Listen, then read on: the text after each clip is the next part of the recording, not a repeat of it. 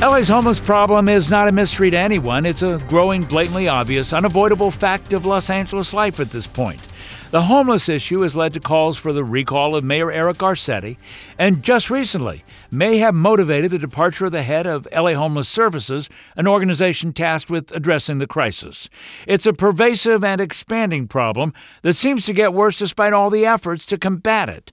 Estimates of those without shelter range from 50 to 60,000 every night, almost all of those living on the streets. Statistics say that about a quarter of them suffer from mental illness and about 15% have substance abuse issues.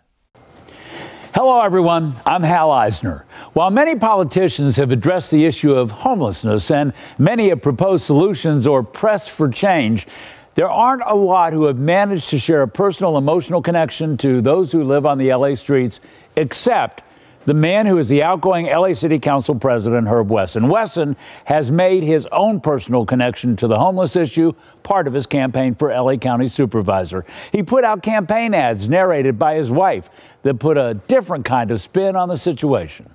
This is my husband, Herb Wesson. We married when my son Doug was young. But today, Doug is often homeless and addicted to crack cocaine. And he's gone missing again. Herb's been Speaker of the Assembly and City Council President, but he's always been there to search for Doug and coax him into rehab. As County Supervisor, Herb won't give up on anyone, like a dad who loves his son. Joining us now, Herb Wesson. Those are powerful, those are poignant images, and uh, tell me about this search for your son. Well, this has been a situation in my family for almost two decades. Uh, I kind of get to know where he hangs out. He had been doing so well, and then all of a sudden had a relapse. And I, I was able to eventually find him, but it takes a little work, and you, the people on the street kind of get to know you, and they helped a great deal. They have been phenomenal, but it's something that we as a family had to learn to deal with. And it's something that at this point in time, we just felt it was appropriate to share. He's 50? Yes. 50 years old. And can we talk about the mental health issues at play here? Well, I don't think at this point we want to keep anything from anybody. The most important thing is to let people know that this can ha- this can happen to the former Speaker of the Assembly or the President of the Los Angeles City Council. It can happen to any of us, and our hope is that this will definitely help move this conversation forward on how we deal with folks on the street that have addiction issues or mental health issues, or in Doug's case, both issues. Both issues. You know, you were followed around by cameras. So, you know, it may have been a little, I don't know how awkward that was going down Skid Row in different places with it cameras. It was challenging. I'm sure it was challenging, but but there's another ad, and this is the one where you actually find D- Doug, right? Yes, You Doug. find Doug. Let's take a look at that. No one expects their child to end up here. This is my husband, Herb Wesson, and he's searching for our son, Doug. Again. Chronic drug addiction and mental illness can lead to homelessness. It's why Herb expanded supportive services as City Council President. And he can do more about all of this as County Supervisor. You pray for a happy ending. Maybe this time. And that's Doug right next to you, isn't Yes, it? it is. That's Doug. Tall the Los fella. Angeles homeless, what is it? I said he's a tall fellow. He is a tall fella. The Los Angeles Homeless Services Authority in 2019 said there was something like 50 to 60,000 homeless people on any given night. About 44,000 of those people on the streets. Almost 9,000 of those people somewhere under the age of 24. Some of them actually minors. Uh, it's extraordinary. And you know, I was in Hollywood the other day. I'm going down Vine Street. I've never seen the median strip filled with tents before. It's become so pervasive, and yet we've had all these efforts to try to battle this problem, and, and, and it seems like it just keeps getting worse.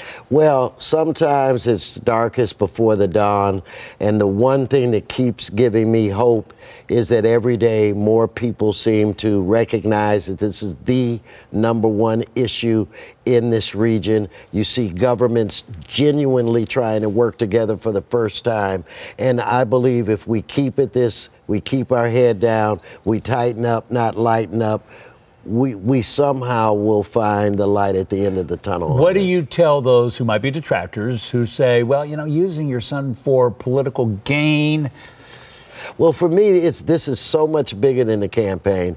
This was something that we as a family had a conversation about. Just about every member of my family does something public service related. Just about everyone.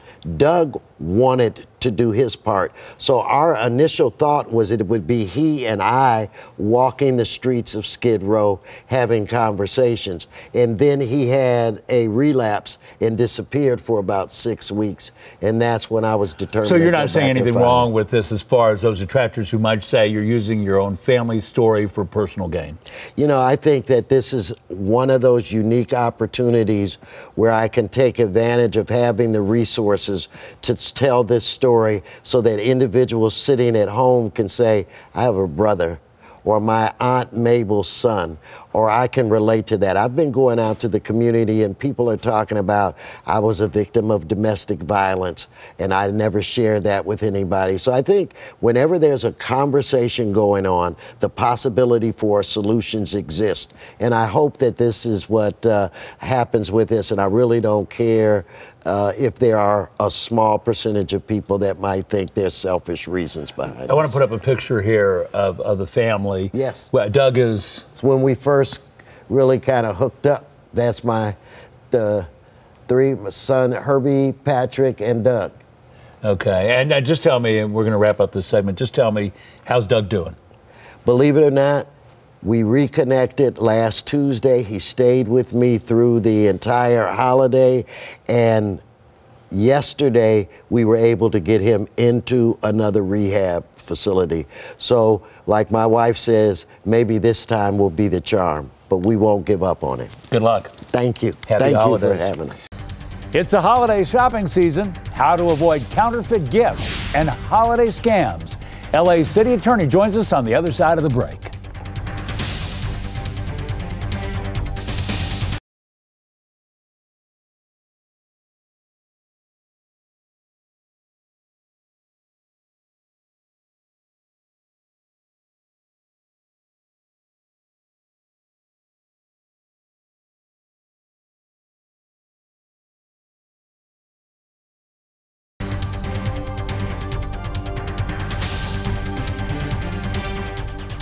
Last week, the holiday shopping season kicked off in a big way with Black Friday.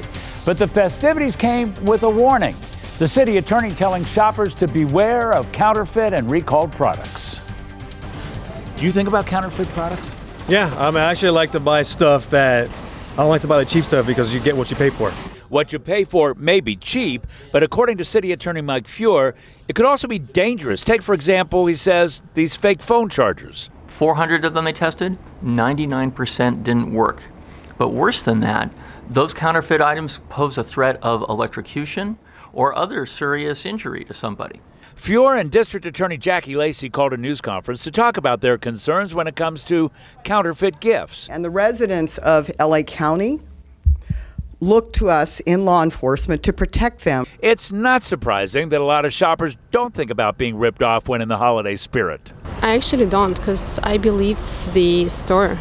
I have two kids. We have a big family, so I'm usually looking for the cheapest prices. But you might be getting something that's fake. Oh, yeah, that's true. But it's not just about buying cheap. They're very concerned that people's hard earned money doesn't get squandered on a good that doesn't work the way it was supposed to.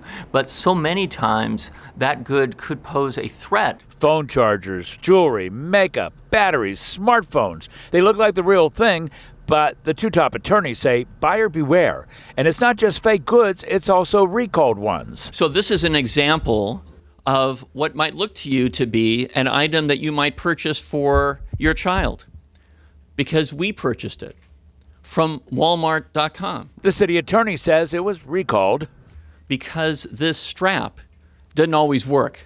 The city attorney's office sent the cease and desist letter to Walmart asking them to stop selling the product and to refund people who had previously bought it. We asked Walmart for a response. They told us, quote, an item identified in City Attorney Feuer's letter was not sold by Walmart.com, but by a third party marketplace seller. It is against our public facing prohibited items policy for a seller to offer any recalled products on our platform, and the item has been removed and the seller has been notified. Moving on, there are people who are cautious like Tammy Hosner. Ever worry that if the price is too cheap, it's one of those too good to be true things? Super, I believe that. Super, she believes that. Well, joining us right now, Michael Feuer, the city attorney of the city of Los Angeles. And uh, have you had many responses since that news conference you had telling people to be careful? We haven't had a lot of responses from consumers, Hal, but we are in the process of looking into other significant retailers, especially with regard to the sale of recalled items that may implicate the safety of them and their families. Now, you're expanding this effort? Absolutely. You know, in our office, we could be focused on a range of consumer protection issues, from the Wells Fargo case we did to these kinds of cases. I'm focused on the intersection between consumer issues and public health. You know, in that bullseye comes, for example, goods that might not be safe for your infant child. We want to be sure we're out there protecting people. And so, so you know, we saw all these people Black Friday out there shopping in the malls, right. and and you saw them too. Yeah. Do you, do you think that they're going to end up being some people that are going to be like there unhappy? are people there are people who are going to be ripped off and there are people who might be purchasing a good that might not be safe for them and their families. And one reason it's so important to be doing shows like this is to raise the consciousness of members of the public to the importance of not being ripped off by a, cons- a counterfeit good or a recalled good. And there are steps people can take to avoid being scammed. And those pictures we're looking at right now. Yeah. These are some of the items that concern you? These kinds of items concern me tremendously, again, as a, of a parent of kids who are now grown up, but we purchased items like these for our kids. And some uh, of these things have been recalled. They've been at stores that uh, are well known stores, but yeah. the U.S. Product Safety Commission has been looking at some of these things. Well, and, and here's the thing the Consumer Product Safety Commission has a website at cpsc.gov. A consumer can go on that website to see what items have been recalled and be sure they're not purchased something that has been. I want to make a little turn here and talk about sure. holiday scams. Yeah. You, you got a lot on that. Yeah, absolutely. And, you know, the thing about scams is this there are people who are well meaning who could be victimized precisely because they have big hearts. For example, there are fake charities that will call and try to solicit you to give money to them. There are folks who call, there's a famous grandparent scam.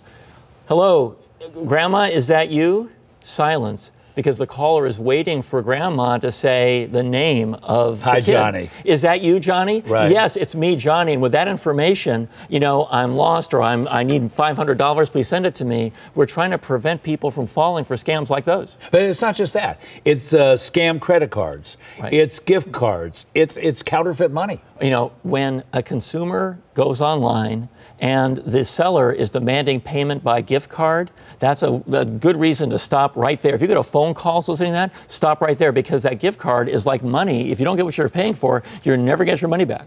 So, so this gift card is really sometimes the biggest signal. Buy a gift card for your teenage kid. That's one thing. Having a seller demand a gift card in payment for something you're seeking, that's something else, and you should reject that out of hand. You know, you've had news conferences, I think, almost every holiday season right. that you've been in office, uh, and I think I've covered most of them. But, but I got to tell you, does it have an impact? Well, you know what? Sometimes we hear back, thank you very much for alerting us to this. Sometimes we're never going to hear from the consumer who, in her busy life, is just trying to make ends meet, but has been following these tips. But I have to say, the scammers know that a parent in a two working parent household where they have kids, they're exhausted, they're trying to save money, they know that that person could easily be a victim. So we have to be even more vigilant and more assertive about communicating to the public how they can protect themselves. 20 seconds. Yeah. If it's too good to be true, it probably is. Mike and by, by the way, low prices could be a sign that this is something that you ought not be buying. Really discounted prices on items that are sold for much more elsewhere could easily be counterfeit. Uh, good advice right there. Thanks for joining us. Always great. Good to Al, see you again. Thanks so much. Happy holiday you you. Too.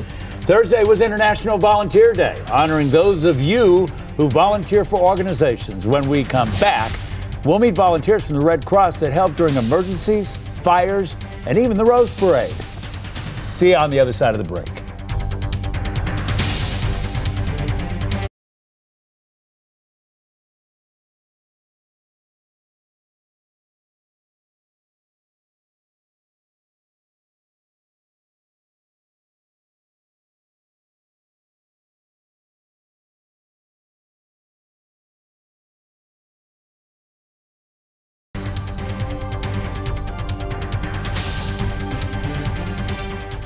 They dish out food at mission dinners. They hold the hand of seniors facing hospitalization. They feed and comfort shelter pets and offer care and comfort to those dealing with disasters. If there is a need, they fill it without complaint and without pay.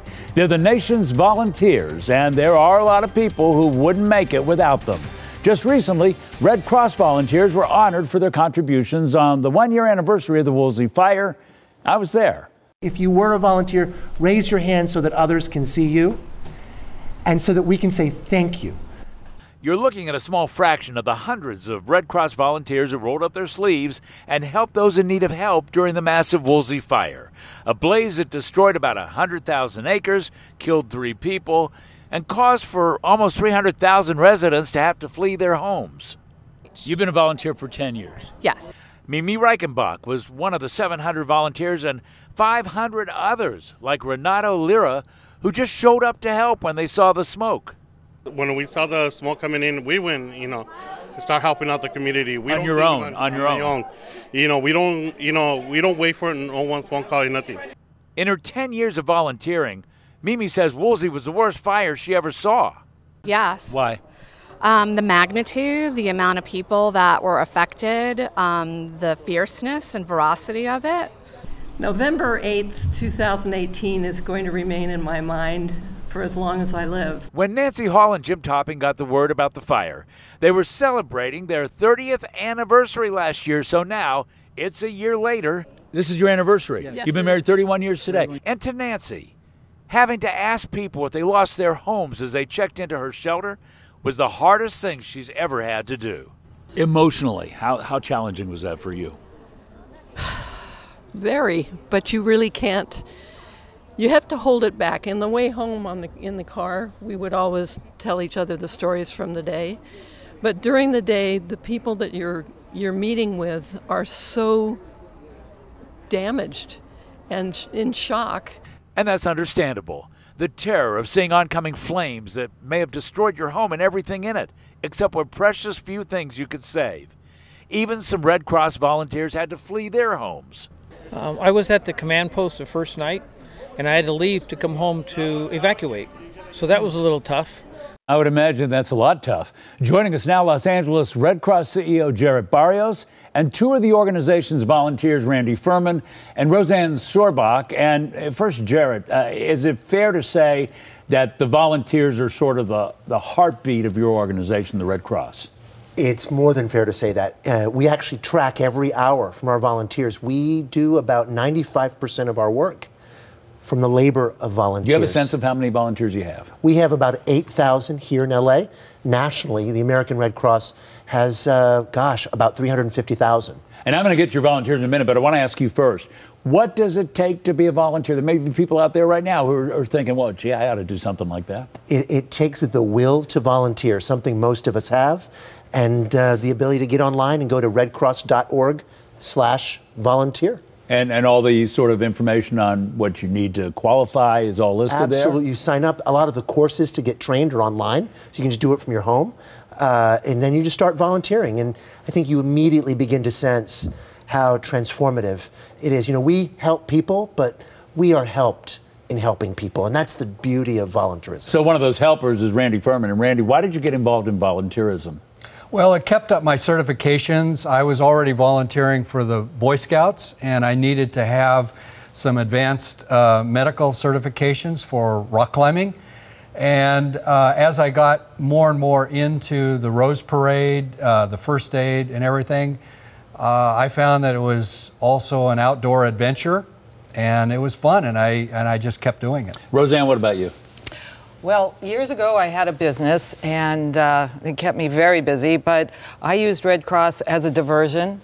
Uh, it, it gave me a way to, to get out and see the reality of the And world. that can be a pretty rough diversion, though. I mean, you've got some of these fires and some of those things where you have to help people who are evacuating their homes. Exactly. That's not a, uh, an easy diversion. It, it's not, but what what really enticed me was the people that you meet, the volunteers and all of their different backgrounds, whether it was education or work or life experience, all the different backgrounds that come together to help people. How many years have you been doing this? 35. Volunteering for 35 years? Yes. I thought you were like 34. Almost. Almost, okay. but, but 35 years you've been volunteering. What, what motivated you to start volunteering? In the very beginning, um, well, to step back just a little bit, my uh, my grandparents were both uh, volunteers for Red Cross. Boy. My mother and her sister were nurses for Red Cross. My husband and I work Red Cross, and even my son works. Uh, helps with Rose Parade when he comes down from school.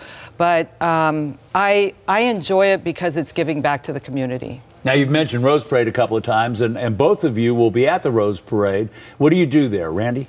Well, I organize 200 some odd people uh, for that event. Uh, we, we run uh, 13 uh, first aid stations, and there's all of the activities of organizing the, the radios, lo- lo- logistics, and uh, just There's a lot of people out there. I mean, you know, it, it's often probable that you'll end up with medical situations in a parade like that, right? Over 60, 70, 80 every year that you'll have medical situations where people have to get hospitalized.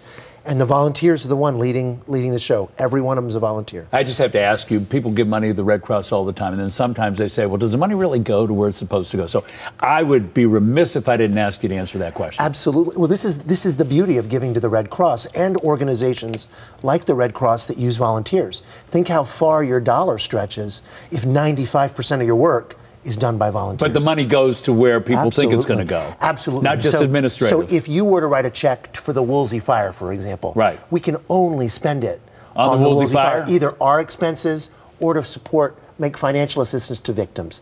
Absolutely. That's the law, and we respect that at the Red Cross. All right, well, Jarrett, thanks for being here. I really appreciate it. You know I talked before. And, and to you two, uh, thanks for your service. Thank you. You've been doing a lot of volunteer work Well, over these years, welcome. and it's very much appreciated by the community. And thanks to all of you, all of you who spend time volunteering. We'll be right back.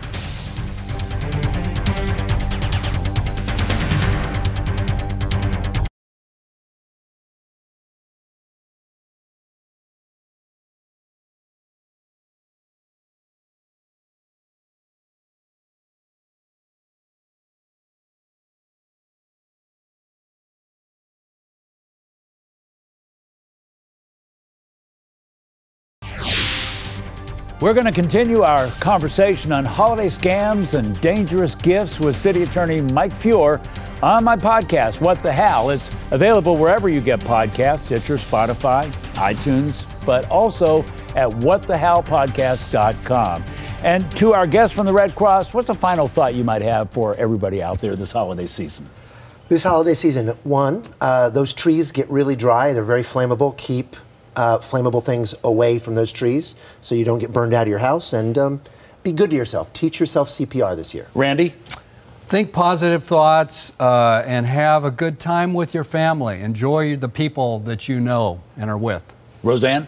I would say to consider going to the Rose Parade this year, stay hydrated, dress in layers, and for the new year, consider joining the Red Cross. And for me, everything they said. That's it. See you next week. Thanks for joining us for Fox 11 News in Depth. Bye bye, everybody.